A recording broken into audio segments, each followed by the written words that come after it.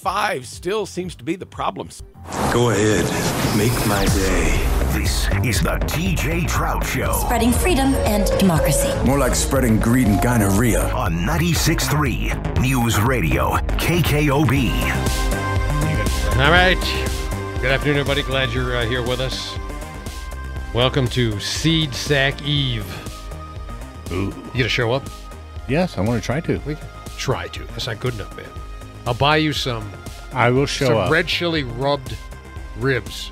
You heard him. He said it. He will not. See, Jesse, I haven't even asked you yet, but I, there's there's not much I won't do for uh, red chili ribs or like a beer. Like it's pretty pretty pretty easy. well, they- okay. So, all right, the, the event is sponsored by Dos Equis. So they're gonna All right. they're gonna be there. We got beer, we got we got food, we got we got the band, uh, the Duke City Swamp Coolers. We're gonna have the uh, we're gonna have the um, the pumpkin with the biggest pumpkin weigh in. The first thing we're gonna do, probably that's probably gonna happen around five thirty, quarter to six. Then we're gonna judge the uh, carving contest to whoever did the most uh, creative carving. Then we got the band going on, and then we're gonna light all the pumpkins up at uh, eh, dark, dark, dusk. So Cool. yeah. We're not we're not going to light each one up separately. We're going to throw gasoline on all of them and just like So I saw Gabe's pumpkin, and it's giving me nightmares already. oh, oh, that thing walks around that room, man. Did you see? I saw it. Yeah, Yeah, I know, I mean, know. It's like it's not just a pumpkin; it's a display. Oh yeah, it's, Yeah. yeah. I know. It, it's uh, a menagerie. I don't know what it, I don't know what you Yeah. call it. Yeah, it's, it's something. But uh, yeah, it's got like dead animal bones in it. It's got a wig on the thing. It's got a jester hat on the pumpkin. It's Yeah, it's bizarre.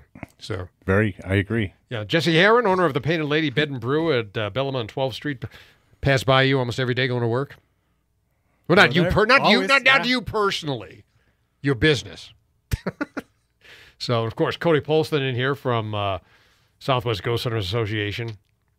Hey, uh, how many books you got out now? I mean, you- God, oh God, I know, many. but but you got something new though, right? yeah. So the uh, uh, let's see, Murder and Mayhem and Tombstone is coming out April first, which is weird because they gave me April. the release date. Yeah, yeah, yeah. Before they gave me the cover proof, and that normally is the other way around. But- Okay. Yeah, and then working on another ghost book and another freaky history book for Albuquerque. Okay, So- Tombstone's interesting. I mean, you that, that's that's steeped in history. I would imagine. Even, Oh, yeah. even more, more more than ghostisms. It's a, it's so historical. Yeah, we talked about that before, and my my mind has been changed about a lot of that stuff since I've finished the book. Because I, I went, I knew I was going to have an opinion on. We were talking about like Ike Clanton and all that. Yeah. and I'm like, okay, I want to do that first. I want to put his his opinion of what happened, you know, back in the day, because I knew once I started researching it heavier, that might change, and it and it did. so, So so you are you more sympathetic now to no, the? hell no, Oh no! no. Oh oh. So No, I, I it, that that whole thing with the the gunfight the OK Corral, Yeah. it's much more than what you see in the movie. There's build up that happens years before, and it's just things happening and happening until it builds up to that event, you Yeah. know. And um, a lot of the political corruption, he was right in the middle of it, and Yeah. it was it's kind of like you know the whole the people saying that the vote was stolen and all that. Yeah. imagine that back in the 1880s, and Yeah. the Democrats are the ones that are trying to steal the votes, Yeah. and that's kind of what was going on. Interesting. Yeah. Right. So can can I quote uh, Paul Andrew Hutton and see if this is accurate? Because I said to him once, the uh, uh, history professor at UNM, also he's a movie consultant. Right. He said, uh, I said to him, man, well, like uh, I forget who I was talking about. He's he was a real bad, really a bad dude, wasn't he? I think maybe Onate or somebody. And he, and he says, TJ, they were all bad dudes back then. yeah. Every one of them. Every, in, in one way or another, they all are. But yeah. So Jesse, in the 1880s, because that's when when, when when was uh, when was the Painted Lady? Uh, Uh, 1881. 1881. Yes. Okay, it was built then.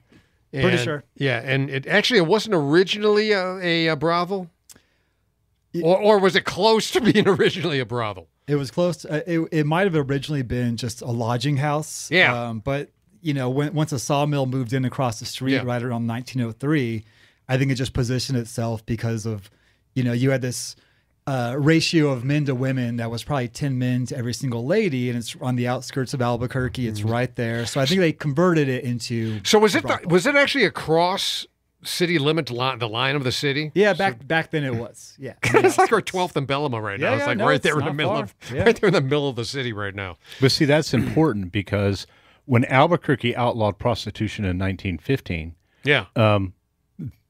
Old Town and that section going east where his building is, Yeah. they weren't included in the township, so that that was kind of questionable. yeah. And so all the prostitutes that were here, like literally probably what 500 feet away from us over in you Civic can see Plaza, right there. Yeah, Yeah. where Lizzie's. uh, that's where they went.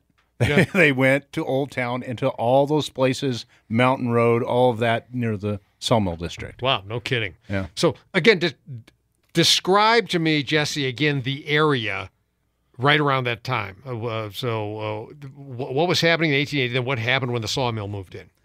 Well, you got, you know, Old Town obviously founded 1706. Yeah. 1880, the railroad comes, Atchison, Topeka, and Santa Fe. They build the tracks a mile and a half east of the river because back then the Rio Grande would flood, which we've all seen it now. You can almost walk right across it. So it's, it's tough to imagine it back then. So they build the railroad here, which becomes known as Newtown.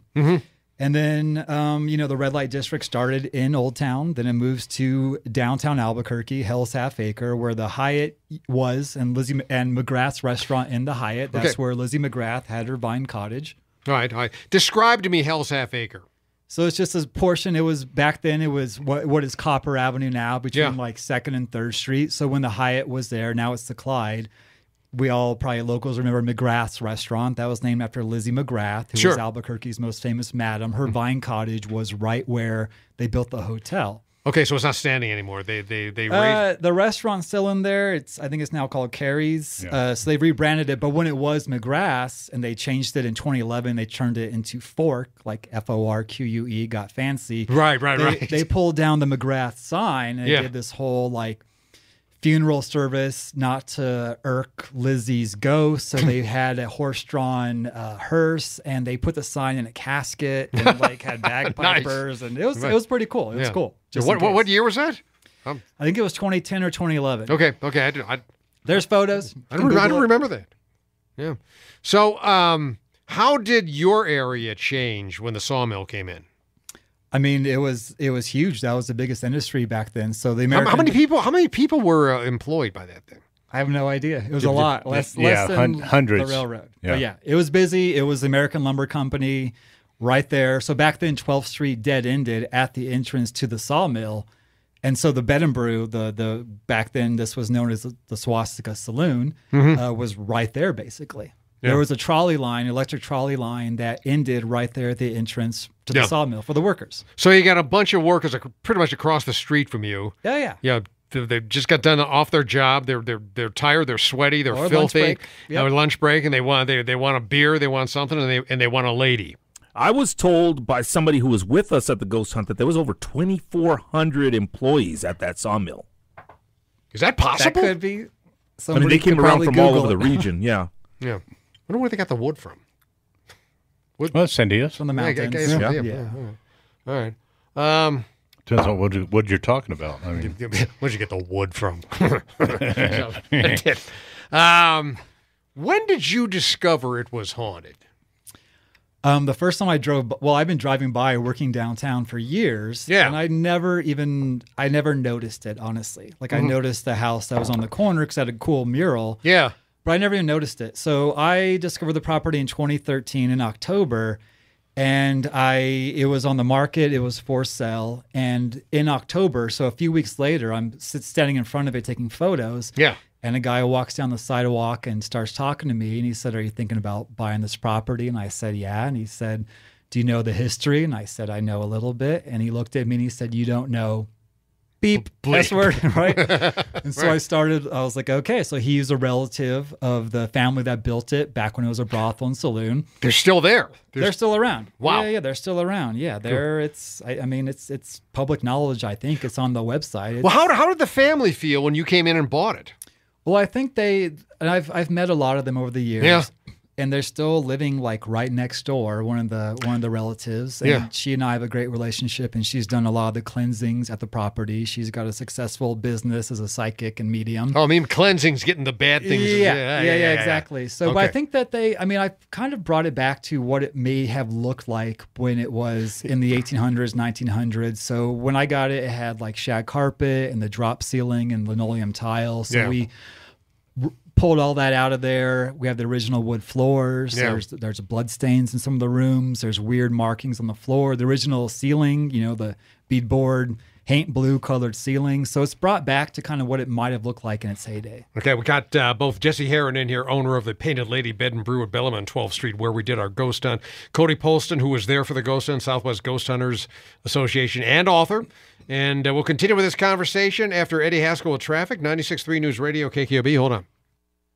All right, we're back. Thanks for listening. Uh, again, Seed Sack Eve. We got Seed Sack going on at El Pinto uh, tomorrow from 5 till dark.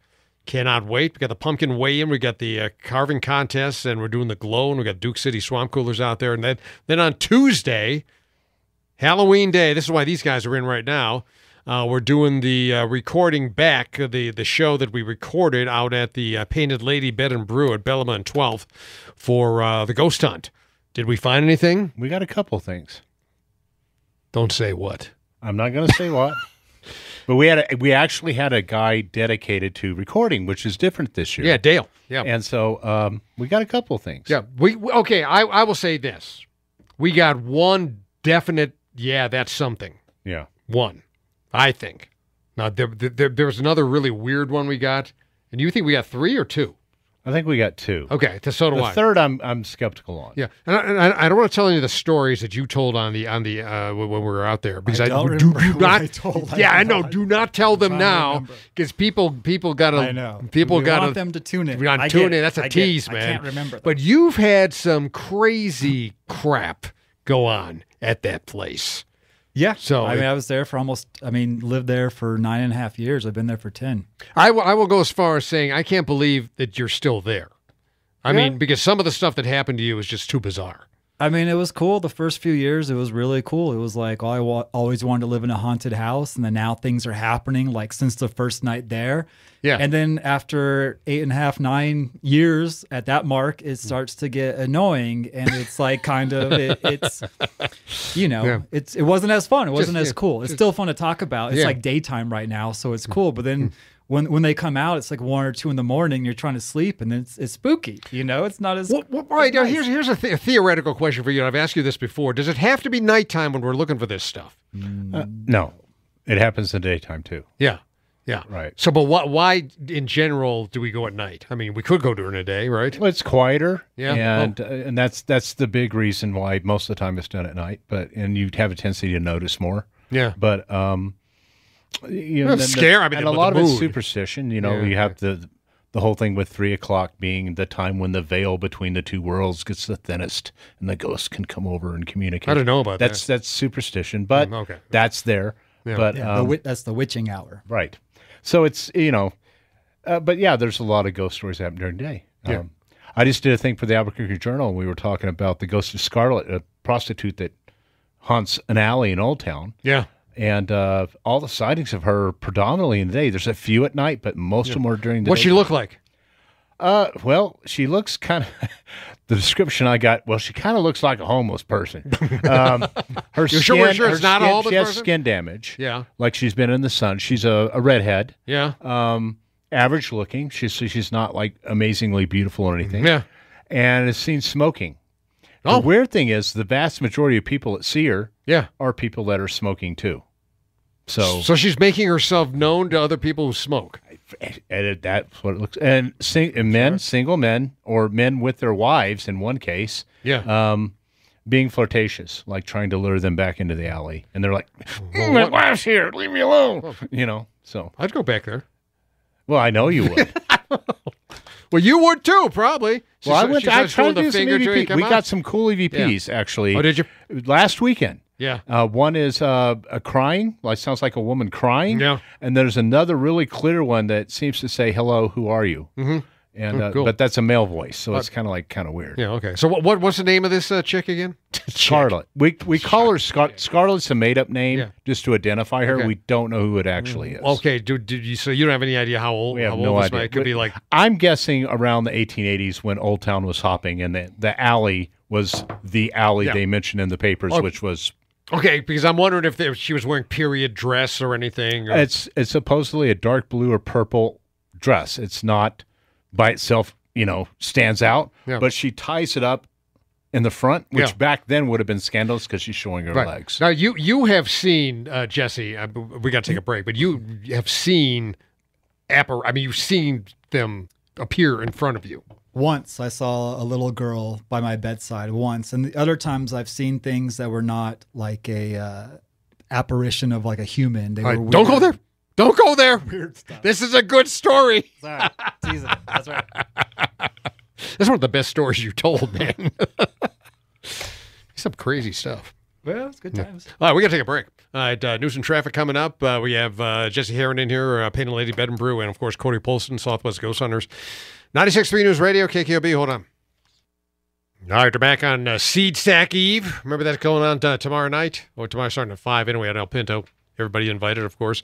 With us right now, Jesse Heron, owner of the Painted Lady Bed and Brew, Bellamah 12, where we did our ghost hunt. Uh, we got Cody Polston here with us also from Southwest Ghost Hunters. Gaba, Yes. what the hell is wrong with Just What'd you- getting in the spirit, man. I, I get it. So you did. would You, you, you saw what he did, right? Yes, I did. That, that thing in the suitcase he left on. You know? Just self-expression, gentlemen. I what I was appreciate- feeling. I, appreciate your art. I have a I have a few names and numbers, Gabe, that you could call. I if you bet need- you. I'm sure you have need accounts help. with them. Of course. All right, we have these fine gentlemen in here. You know, we've been having this conversation, Yes. and I, I know what you're like, so you probably got something. I've been listening to a bit. Of, I just wanted to ask both of you guys, Cody and Jesse, something personal, if I could. Okay. So, with your backgrounds of what you've experienced and what you've been doing, what do each of you expect upon your death to happen? You want to? You want me What do you go for it? believe is Yeah. what I'm saying. Yeah, what do you think, and, and has that influenced you, your experience? Um, so I've I've got some theories on this, and I I'm not religious, but I I think and there's something weird about the property, the bed and brew. Like right from the beginning, it just was calling to me, and I think that's why all these spirits are still there. Is there's just something about it. I don't know whether that's a portal or there's like something weird, but I feel like if something happened right now and I died, and there's this bright light, there's a light. Okay. I don't think I would go into it. I think that I, I'm in the the camp of maybe there's unfinished business or I'm not ready. I have too much. I've, I've I got a mortgage. I got like you know I got, I, got to run a business. I bit. It's Yeah. like that. So I don't think I would go into the light and cross over. I think I would stay here.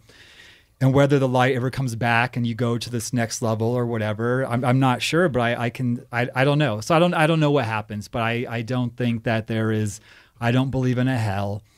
I don't believe that. Um, I don't know. I, I, I think that the, the, the ghosts or the spirits that are at the property, I have a theory that maybe if you are bad in life and you're killed or you die and you're maybe you're scared you're going to go down below you're going into mm-hmm. like a hell i think that you're not going to cross over because you're scared of what that might be you're worried mm. about how you acted so you hang out in this in between which is i think you know something that's why we can kind of see these ghosts on occasion ah. they haven't left they're still here in this like in between place wow. Okay, buddy boy, your turn. Yeah. I don't think anything's anything's going to happen. I think I'm when I'm gone, I'm gone. Sound like my dad. Um, you know, it's So then, how do you approach your work? I mean, do you just do you tend to be kind of a, a nihilist about it? Think, well, that you know, it's just such and such. I, mean, I look. See, people often under, misunderstand the word skeptic. They think Mm-hmm. it means disbelief, and it really doesn't. It's I haven't made up my mind. If we're talking about buying a vacuum cleaner, and I say I'm skeptical, Okay. okay, you know, I'm going to read the reviews, peer reviews, if we're talking science, and I'm going to look at both sides before deciding to buy the vacuum. Being skeptical means I, yeah, I've, I've had weird things happen, and I've talked to a lot of people that have weird things happen, and but at the same time, can I definitively prove that any of those things are real? No. So I'm kind of stuck in the middle, and that's where kind of where I hmm. stay, you know.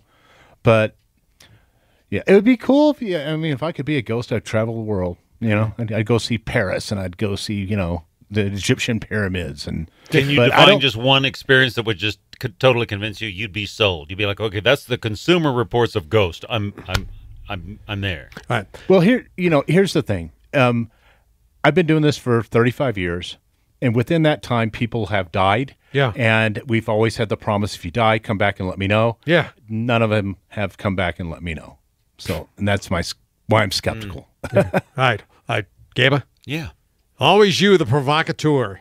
I'm here for you, TJ. I'm watching you. All right, we're not done yet. We're gonna we're gonna continue this conversation on the other side. Uh, we got uh, Eddie Haskell with traffic, 96.3 News Radio, KKOB. Hold on. All right, we're back. Thanks for listening again on this uh, Seed Sack Eve. We got uh, Jesse Heron in here, owner of the Painted Lady Bed and Brew at Bellamah on 12, where we did the ghost hunt. We're gonna rebroadcast that on uh, Halloween. And uh, Cody Polston in here, Southwest Ghost Hunters. See, I, you didn't get my my take on the whole thing. What Gabe said. Okay. I think it'd be fun to haunt somebody. Yeah. It'd be fun to scare the crap out of somebody Oh yeah. if you could do it, at least for a while. Agreed. I Yeah. think that's why they're they're sticking around because it's fun. They don't have to live within the the rules of this this world. Yeah. So uh, the two of you were talking. So did you relate another story to him that you that you didn't uh, say for the ghost hunt? Yeah. So so Cody, I've known the name of Cody for a long time. The name of Cody. the name of Cody, and he's been he's like a local uh, legend. Yeah. And one of the first the first month I was in the in at the bed and brew, sleeping in there, and I'm reading his book out loud in bed. Go- Ghost of Old Town Albuquerque, Yeah. written by Cody Polston. There you go. And it might have even been the Scarlet story. I don't remember, but I'm reading it out loud, and you feel this energy come into the room, and it feels like somebody lies on on the bed. And I'm like, I, you can feel it. It kind of feels like a like when a cat jumps on the bed, that kind of like ba- Yeah. barely moving it, but it had like the mass, like the size of a human.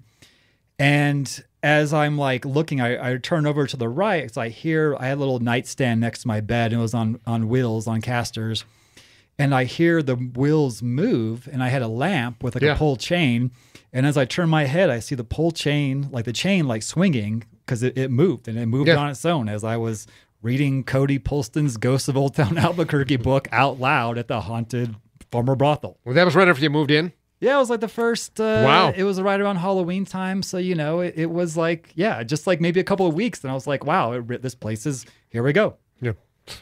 Wow. So you guys had a connection you didn't even know you had. Yeah. Yeah. I know. Yeah. Isn't that wild? Look at that. Yeah. I've So- been waiting nine and a half years to tell him. No, so Now you you got go. you. Yeah. Hey, let, let- let me ask you, why were you reading it out loud? Oh, well, I, I, I was with uh, someone at the time. Oh, okay, but that's And fine. so as we were reading it out loud. Okay, and- so there was somebody. Okay, that's yes, fine. I'm not a weirdo. I'll say no more. Say no more. I, I won't ask any more questions about that. So, all right. Uh, what else? Are we done? I don't know.